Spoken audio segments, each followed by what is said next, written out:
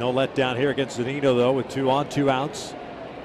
And Zunino drives one out to left field. Mike Trout going back at the wall, leaps up, makes the catch. The inning comes to an end.